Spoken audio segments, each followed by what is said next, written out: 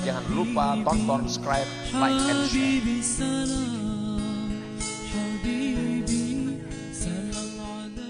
Dan Rasulullah sallallahu alaihi wasallam bersabda bainana wa bainal munafiqin syuhudul hatamati was subhi la yastati'unahuma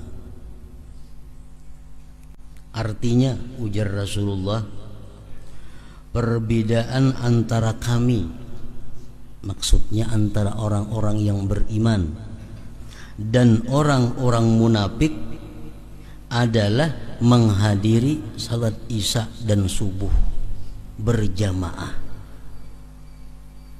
Ujar syarah hadis dalam syarah ihya disebutkan berjamaah di mana mereka orang munafik itu tidak sanggup sembahyang berjamaah pada keduanya itu subuh dan isya. Jadi hendak mengetahui diri kita ini apakah masih ada sifat munafiknya? Kawah aja. Selama ini kita subuh kawalah kalanggar ke masjid.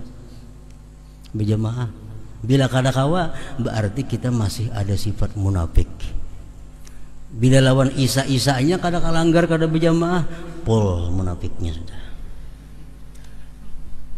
munafik jadi kadang ngalih mengetahui orang munafik itu Isa kada berjamaah sembahyang subuh kada berjamaah. Kada kawanya menggawi, kada kawa kada sanggup. Jadi nang kawa orang berjamaah subuh, berjamaah Isa itu orang-orang mukmin. Orang-orang kami ujar Rasulullah sallallahu alaihi wasallam. Jadi mengetahui diri kita nah, bini-bini ibu-ibu mengetahui lakinya nih apakah ada munafikkah atau kadakah lihati sembahyang subuh lawan isanya berjamaah kada bila laki pian tu subuh kada berjamaah apalagi malandau sembahyang isya kada laki pian tu orang munafik. Laki itu ujar Rasulullah sallallahu alaihi wasallam dalam hadis riwayat Malik dari Sa'id ibnul Musayyab.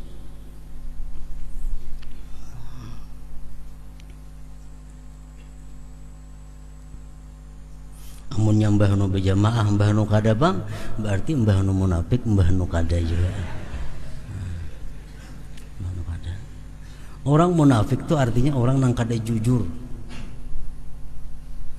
orang tuh besi kawan kalau munafik kawannya tuh kada jujur kada jujur karena munafik ini secara umum adalah artinya orang yang zahirnya baik batinnya rusak Zahirnya bagus kelakuannya, tapi hatinya rusak.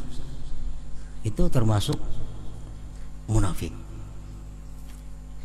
Nah, jadi logikanya orang yang berhati kada baik, hanya zahirnya aja baik, sampai yang subuh berjamaah itu kada kawa.